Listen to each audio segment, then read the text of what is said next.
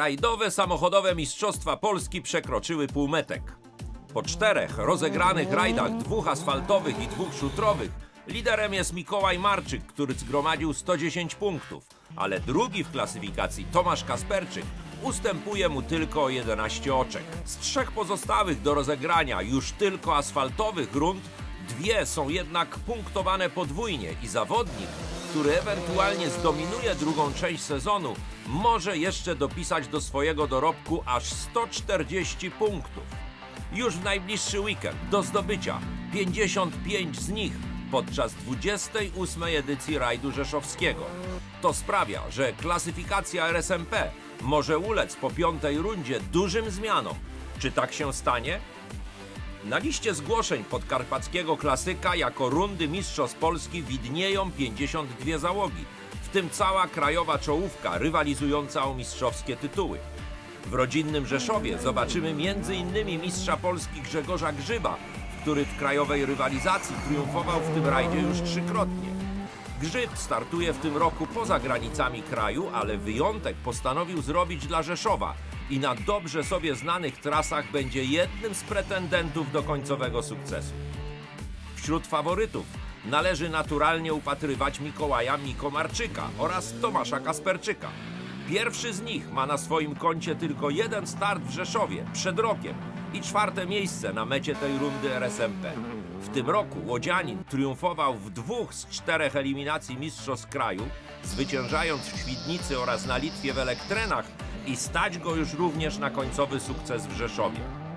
Kasperczyk nie ukończył ubiegłorocznej rywalizacji w tym rajdzie, ale w tym sezonie prezentuje bardzo dobrą formę i może pokrzyżować szyki Grzybowi i Marczykowi. Kasperczyk zwyciężył w tym roku w rajdzie nadwiślańskim w Puławach i asfaltowe odcinki specjalne na południowy zachód od Rzeszowa będą mu bardziej sprzyjać niż szutry w rajdzie Polski czy na Litwie. Marcin Słobodzian, debiutujący w tym roku za kierownicą rajdówki klasy R5, stanął dwukrotnie na podium na początku sezonu, ale nie ukończył rajdu Polski i nie wystartował na Litwie. Wcześniej pokazał jednak, że sprawienie dużej niespodzianki jest w jego zasięgu. O czołowe lokaty będą z pewnością rywalizowali również Jarosław Kołtun, Łukasz Kotarba, Kacper Wrublewski, Sylwester Płachytka i Maciej Lubiak. Wszyscy dysponują R5, rajdówkami z najwyższej półki. Jakub Brzeziński ma co prawda do swojej dyspozycji Forda Fiestę klasy Proto, ale nie stoi bynajmniej na straconej pozycji w pojedynku z koalicją Scoot Fabi, Hyundaiów i20, Fordów Fiesta i z jednym Citroenem C3 w topowej specyfikacji R5. Inauguracja 28 rajdu rzeszowskiego w czwartkowy wieczór w Centrum Kulturalno-Handlowym Millennium Hall w stolicy Podkarpacia. W piątek i w sobotę zawodnicy będą mieli do pokonania 11 odcinków specjalnych o łącznej długości ponad 177 km. Nie zabraknie wśród nich widowiskowego Super OS-u w centrum Rzeszowa oraz klasycznej Lubeni.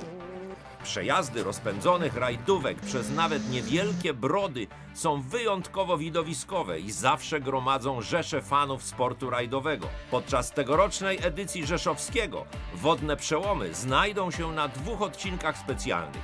Pierwszy z nich to rozgrywana w piątek wspomniana Lubenia, a drugi to również dwukrotnie przejeżdżany w sobotę OS Zagorzyce.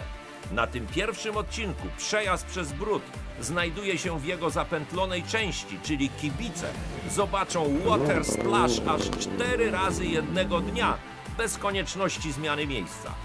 Zwycięzcę rajdu poznamy już w najbliższy weekend. Kto stanie na podium na malowniczym rynku w Rzeszowie, dowiemy się w sobotę o godzinie 16. A w klasyfikacji RSMP po czterech rajdach lideruje Marczyk przed Kasperczykiem, Habajem, Słobodzianem i Byśkiniewiczem. 28 rajd rzeszowski i kolejne rajdowe emocje już w najbliższy weekend.